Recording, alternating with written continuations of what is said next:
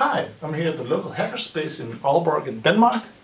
I've made myself a soldering lamp, an intelligent one.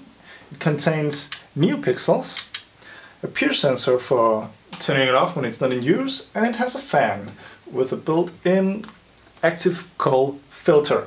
It's all controlled with an ESP8266. Uh, it's a Wemos D1 Mini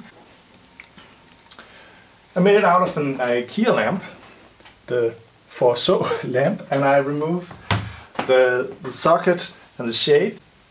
It's possible to adjust the brightness, and right now the timers are quite aggressive. It's I think it's three and six seconds, and of course I want it to be a, a lot more than that when I use it in reality. But right now you can just see that it it turns off automatically again.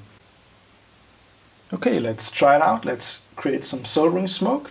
Let's turn it on. Create the smoke. Yeah.